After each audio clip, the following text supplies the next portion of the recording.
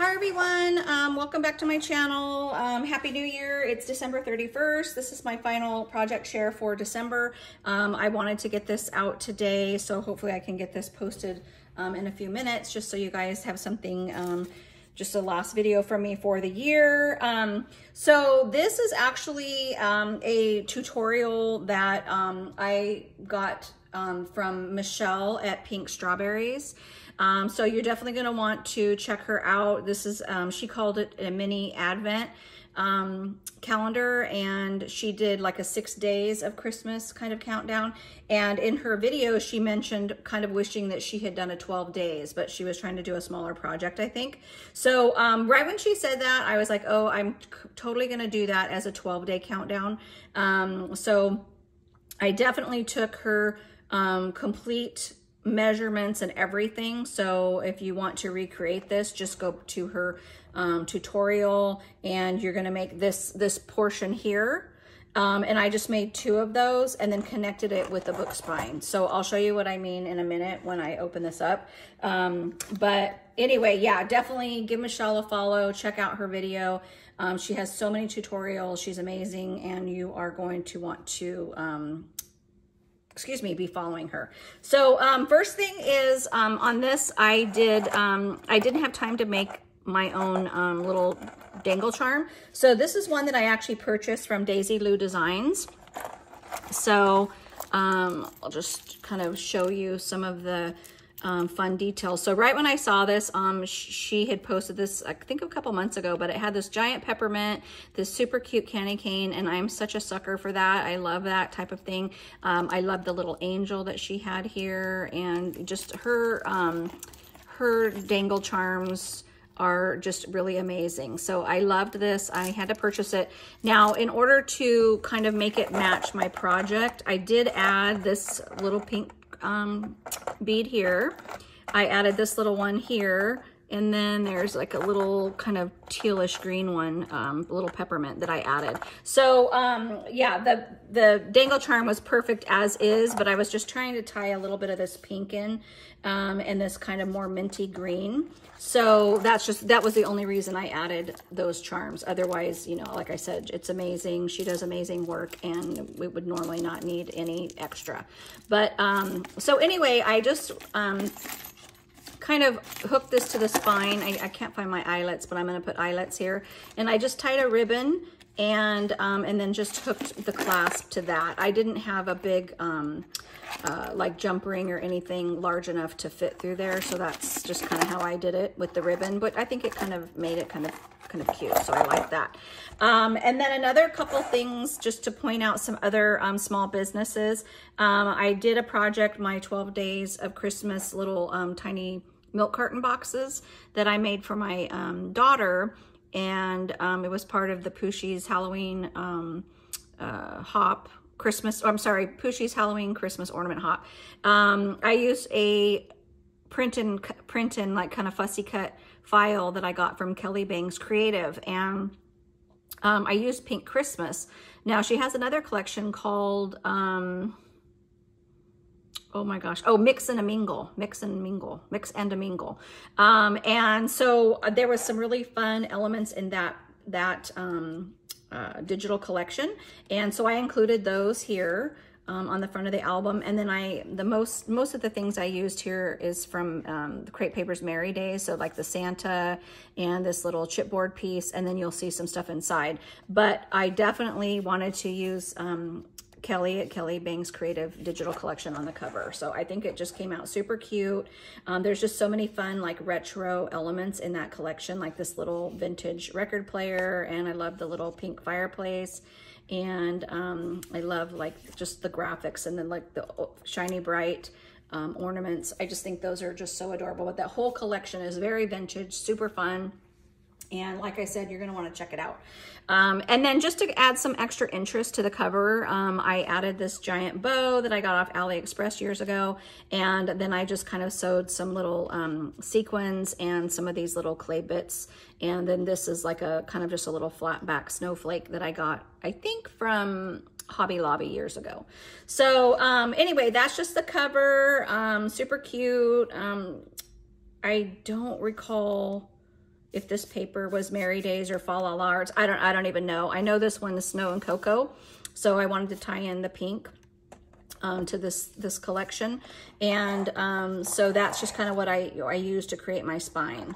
Um, so you can make this any thickness you want once you follow Michelle's um, tutorial. So um, let me just kind of show you the inside. So hopefully that's all gonna be in frame. But yeah, so basically what Michelle did was she created this section here. So she, her tutorial gives you everything you need to create this um, six days of Christmas. I simply made two of them. So um, I was able to get my 12 days of Christmas. And then I wanted to combine it. So her, I think her idea was she was thinking just having it together and doing like a 12 by 12. But I kind of thought it would be fun to make this into a book. So I just made them separate and then created the spine with this um, piece of paper here. And I just did double thickness and stitched it together and then glued it, um, you know, glued it on my cover. I scored it and then glued it. So it came out really good. I'm super, super pleased. Um, this tutorial is amazing. Now, I don't have this completely finished.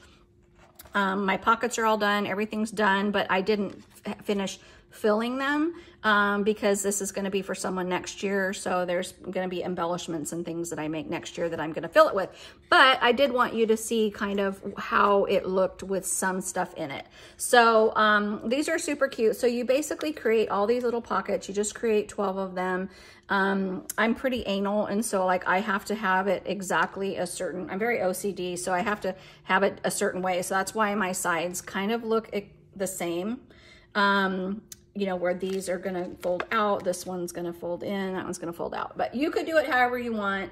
Um, this is just the way my brain works and it works um, it's just the only way I can do it. So um, anyway, and then the other thing too is Michelle was saying, you know, it, it, to keep these from flapping open, because if you can see here, they're not flapping open.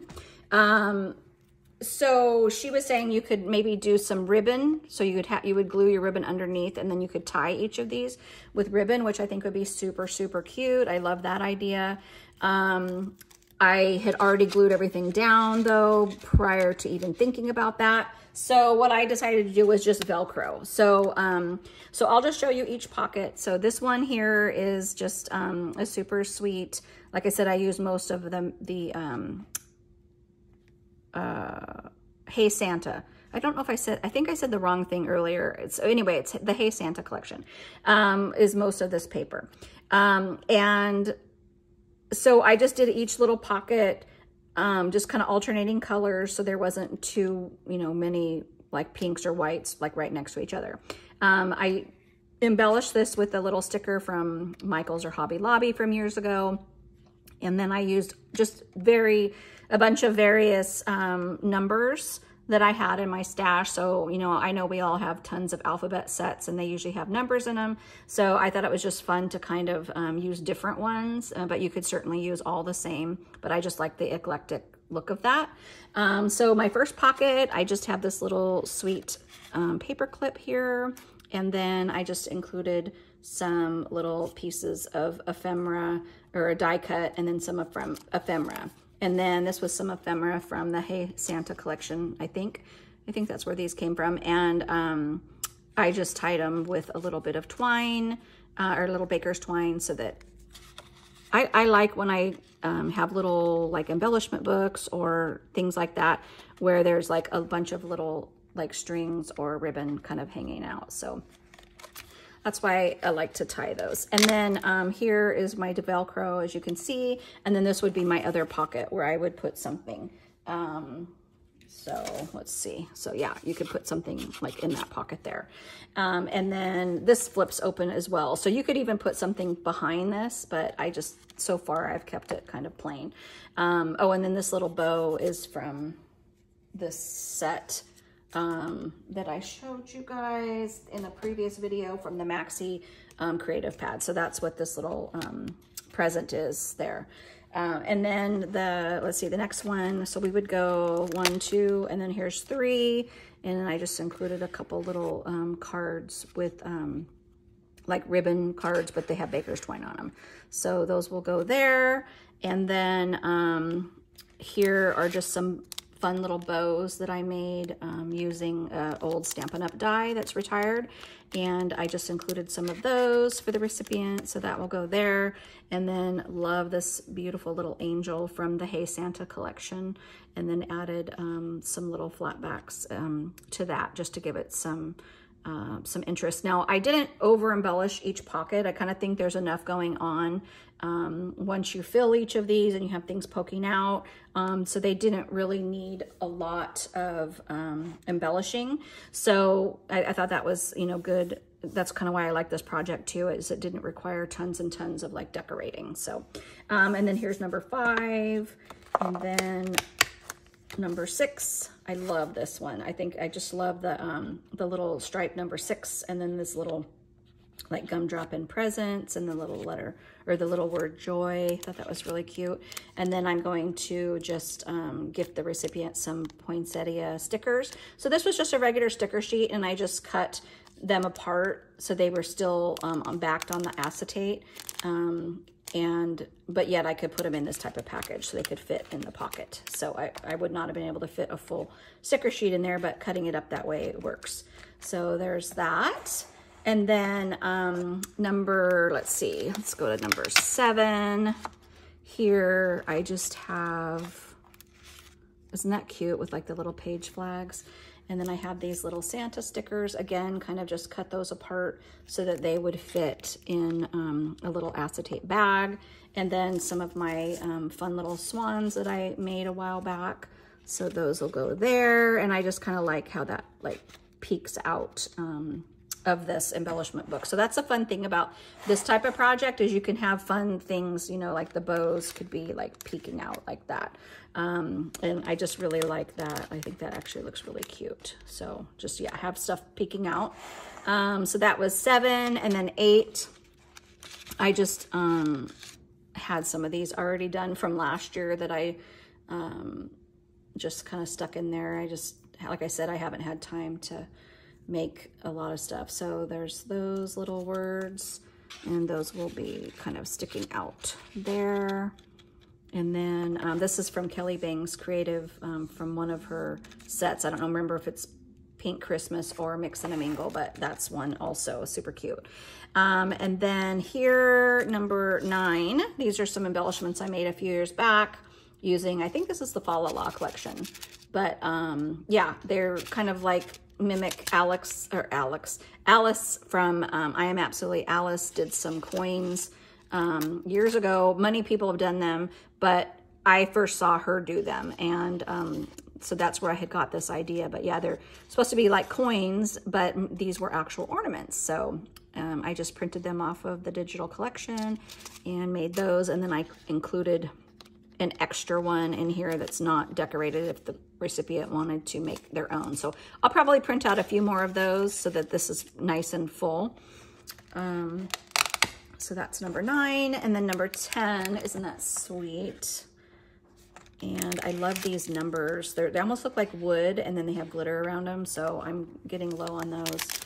And what I put in here is this little sweet clip um, this is from Shining Stars Boutique, so you can find her on Instagram, and then she has, um, I think it's an Etsy shop. Is yeah, so she has an Etsy shop, so that's where that came from. And then these were from Stampin' Up years ago, but I liked this kind of um, idea of having these fun felt um, little elements um, for this project, and I just put it in this little glassine bag. So that will be for the recipient as well. And then um, on number 11, I have this fun sequin mix. I love the sequin mix so much. I just absolutely love that red and pink with that little bit of gold in there. Um, anyway, super fun. So that's going to be for number 11.